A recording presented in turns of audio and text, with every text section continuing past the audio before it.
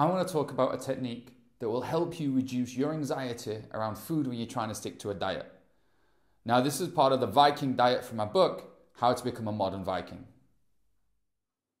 So, one of the most powerful techniques that I learned when I was trying to change my diet to be better and healthier was this concept of food is fuel. Now, I tried all the diets. I tried paleo diet, I tried gluten free diet, I tried liquid diets, I tried juicing diets. And like I'm sure you found as well, you change the diet, and within a few weeks, you start slipping, you start getting bored of what you're eating. You know, when I started getting into the bodybuilding and I started wanting to change the way that I looked, and I started thinking, you know, what would a Viking look like? What should a Viking look like? The first thing I did is I dove in straight away, you know, with, with all of the, the fitness and bodybuilding nutrition advice, and I started making uh, boiled chicken breast, brown rice, broccoli, every meal, like six meals a day. Like, this is what bodybuilders eat. This is what I should be eating. And if you've ever tried this sort of diet yourself, you realize that after just a few days, it tastes like shit. And you start coming up with these ideas of cheat meals. Okay, I'll have one cheat meal in a week. I'll have a pizza because I've earned it. I've earned a pizza after my cardio. And then you'll go to KFC with the friends on a weekend, you know, because it's a weekend, it's a cheat weekend. I've earned it. I've worked hard this week. And before you know it, you're not on your diet anymore.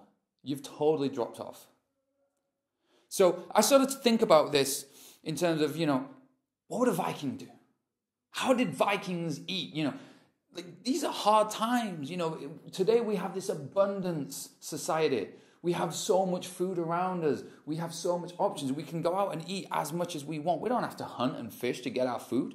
And food is relatively cheap. Even the poorest people, you know, in, in, a, in a typical Western society, you know, in the most basic job, you can afford to go out and buy yourself shitty pizza and shitty KFC and, and all the crappy fast food you want and all the chocolate and sugar. Like shit food is easy to come by.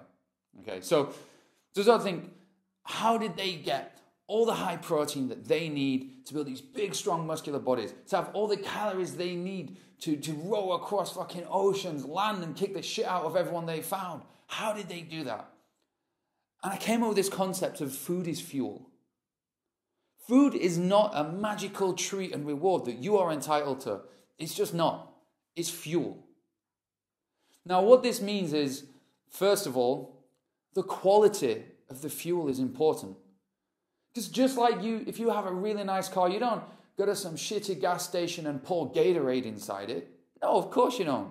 You put in high quality gasoline because that's what the engine needs.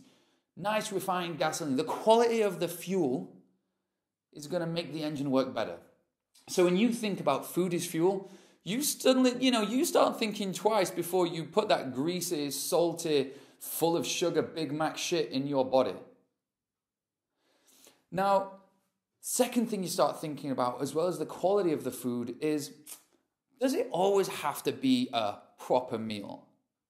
Now, if you're lucky, you grew up and you had, you know, wonderful home cooked meals cooked for you by your mom or your dad or whatever, and everything was always proper on a plate. If you had spaghetti bolognese, it was always the pasta with the bolognese. If you had uh, a roast dinner or a Thanksgiving, you know, it was always the vegetables with the meat.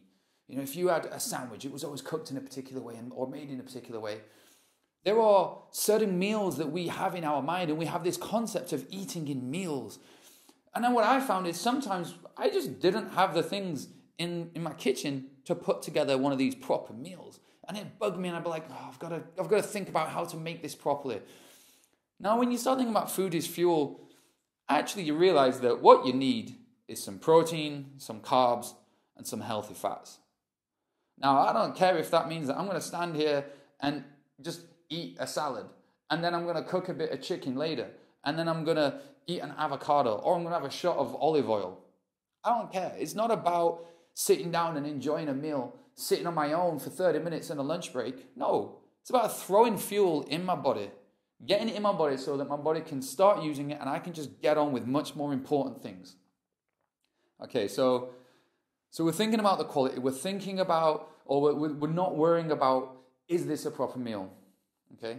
And the third, and possibly the most important and and probably the, the, the, most important principle about this that, that helped me to switch onto this, this lifestyle and this way of thinking about food and my relationship with food was you need to remove the emotional connection that you have with food.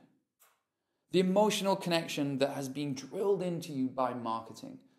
The emotional connection that you deserve that tub of ice cream at the end of the day. You deserve that Ben and Jerry's. You deserve that Domino's pizza. If you want to feel happy and you've had a hard day, sit down, have a bar of chocolate, have a bar of Cadbury's chocolate. If you want to go out and you with some friends and you want to have a good fun time together, what do you do? You get a bucket of KFC chicken together. You know, and you deserve that, that emotional happiness that that, that meal's going to give you. And this is bullshit. You shouldn't be getting your emotional happiness, your emotional reward, your emotional satisfaction from food. There are far greater, richer experiences out there, like friends and family and seeing stuff and traveling and, and, and just so many things. You like you need to remove this concept that when you're faced with water or Coke, Coke makes you happier. This this emotional stuff. I mean, like some stuff like like Coke has chemicals and that literally get us addicted to it. And you know, chocolate makes us a little bit happier on a chemical level. But you've got to stop thinking about this idea that food is a reward. Food is happy. No, food is fuel. Food is what your body needs to get bigger and musclier. Food is what your body uses to make those muscles work. When you're on a battlefield, when you're rowing a boat, when you're hunting, or just when you're trying to go and play squash with the guy from accounts. Food is fuel. So as you move on to the Viking diet, you start thinking about, you know, trying to change the quality of the food you put into your body. Think about this concept. Food is fuel. And literally say this to yourself as a mantra. Like, don't think I'm weird on this. I say this out loud a lot. Oh, food is fuel. Oh, well, no worries. Food is fuel. And I say it in my head a lot. Food is fuel. And because the more you say this to yourself, the more you will start to think it. And then the more you act like this, the more you'll become comfortable with it. And the more you'll start to realize the benefits of thinking about food in this way. And you'll start eating better food because this isn't about punishing yourself. This isn't about taking away the food that made you happy. This is about putting the source of food in your body that will make you stronger, happier, healthier, more sustained energy levels, better brain chemistry. So go out and think food is fuel the quality of the food that goes into my body, um, proper meals.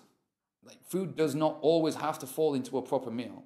You just need to eat the, the building blocks and throw it into yourself, and that's it. And thirdly, remove the emotional connection and the emotional reward that you associate with food. And guys, this is going to help you to achieve the Viking diet. So go out, try it. Uh, remember, you're not actually a Viking; you're a modern Viking. So don't actually kill anyone.